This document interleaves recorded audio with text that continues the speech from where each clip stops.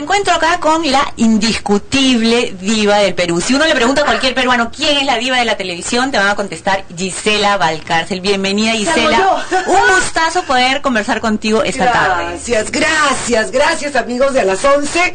Eh, bueno, mientras ustedes están viendo esta entrevista, yo también la voy a ver.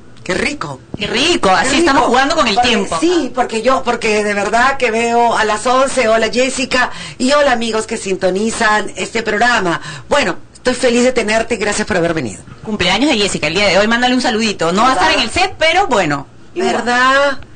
Felicidades, Jessy. Felicidades. Un cumpleaños diferente, pues. 40 ya, más 40 ya. 40. ¿Por qué la echas así? No la he hecho yo, ella lo viene promocionando hace semanas. Bueno, es que eso es ser inteligente. Tú sabes que yo cuando me acercaba a los 40 también decía, me encanta tener 40, me encanta", pero para que ya no me lo chanten. Qué Claro. bueno, Jessy. Bueno, y igual ella está regia además. Gisela, Felicidades en tus primeros 40. Nos vemos a los 80, mía. Igualita van a estar las dos seguramente, envidiable. Bueno, Gisela, tú siempre estás dando el paso en la televisión, poniéndonos a nivel internacional, ahora con este nuevo proyecto que es Operación Triunfo. ¿Qué expectativas? Mira, primero estoy muy agradecida con Dios porque hace, te cuento esto que es algo que me ha pasado y que mira, hoy no lo, no lo había contado, solamente a mi productor.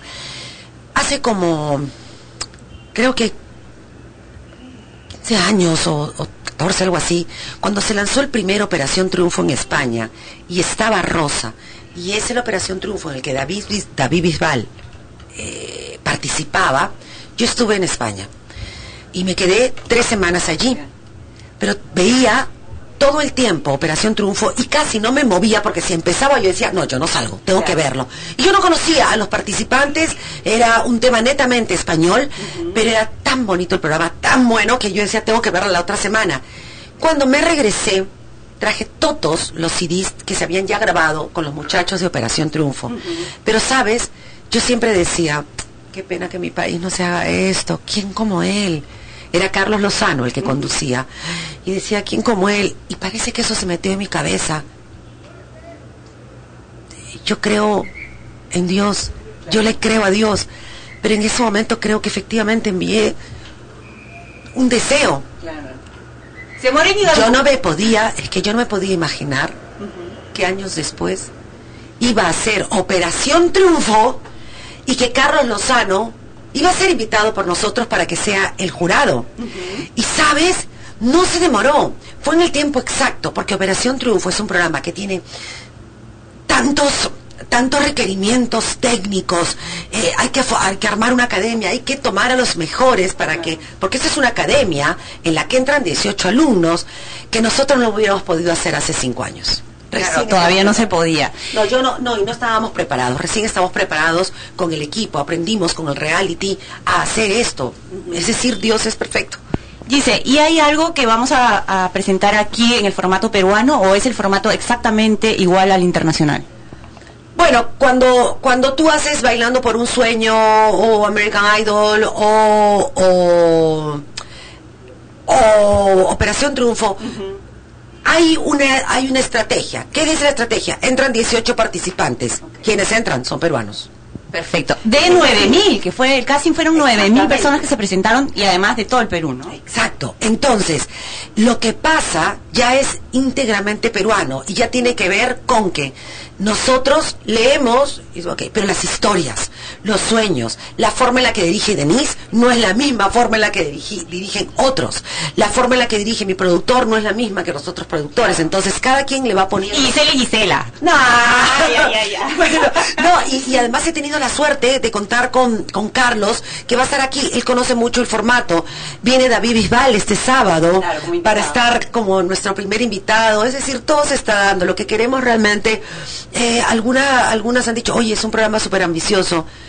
Sí lo es en el, en el, en el coso de que es- hemos trabajado mucho, pero lo que somos es, lo que queremos es salir a divertirnos y que los sábados sean súper divertidos y que tú y mucha gente diga, ok, tengo que salir, pero lo voy a hacer después. Voy a preparar acá algo en la casa, vemos eh, el programa, que creo que eso va a suceder. eh, muy naturalmente y después hacemos lo que tenemos que hacer. Queremos que la gente se reúna en, su, en las casas, que la familia se reúna, que los chicos se diviertan. Pero el jurado, que son dos internacionales y creo que un peruano, ¿quiénes son? ¿Qué, qué, qué misión tienen ellos? ¿Ellos son los que descalifican o el público también tiene algo que ver ahí? No, el jurado es quien dice, tú pasas a la siguiente semana o tú no pasas. Y acá hay 18 alumnos, algunos mejor, algunos cantan mejor, otros no, pero no van a ganar los que mejor canten. Va a ganar el que semana a semana se supere. Gana la producción del disco, la grabación del disco, que tiene que ser de primer nivel, que lo vamos a hacer de primer nivel. Incluso vamos a venderle el disco. Eh, bueno, la- la- la- la- las organizaciones que con las que hemos firmado convenio. Eh, esta persona es representada también. Se va con un representante. Se va además con alguien que le maneja prensa durante un año. Eh, nosotros somos quienes durante un tiempo vamos a verle todos sus conciertos. Lo que no queremos es que el ganador mañana por dos soles aparezca en cualquier lugar. Queremos cuidarlo. Oye, Gisela, ahora sí tenemos que pasar a los chismes, por favor. Dale. Cosas de mujeres. Dale. ¿Qué te has hecho porque estás tan regia? Ay, ¿O es simplemente deporte y a cremas? Gracias, sí, no. spa. Tan linda, me lo, me lo- me- me- me lo han preguntado. no te me miento. mientas. No te miento porque eres mujer, a los hombres les miento. Las operaciones siempre se van a notar en dos lados. Sí. Te la hacen por aquí No hay y se puede borrar, ¿ah? y se puede borrar el esto, pero en dos años, o por aquí. No hay nada. No, no, no. Sí, todavía no me he hecho, todavía no me he hecho.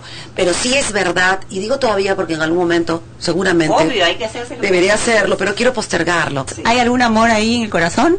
El día que me vuelva a enamorar, De un buen hombre. sí, sí, será un hombre que, que muchos a mi costado van a decir, será un hombre mejor que yo, será un hombre que tenga un espíritu más avanzada que yo, será un hombre que realmente pueda liderar mi casa. No cualquier, no cualquier persona, no cualquier soncito puede liderar. Muchísimas gracias, un placer. Esta entrevista invita a todo el mundo a que te vea este sábado. Nada, ya nada. Gracias por esta noche. Disfruten con a las 11 el sábado, desde las 10 de la noche hasta pasada la medianoche. Los esperamos. Y si de algo sirve para ustedes, quiéranse mucho. Y eso empieza por encontrarse a solas. No esperes que nadie te quiera. Si tú no te empiezas a amar y sabes, quizá estos cinco años de mi vida a solas han sido los años, los mejores años de mi vida, porque pude tutearme conmigo y encontrarme. Y si eso te hizo bien, yo estoy contenta por esta entrevista. Operación Triunfo tiene lo suyo, pero tú y yo somos más importantes que cualquier programa. Que Dios te bendiga y que te encuentres. Gracias.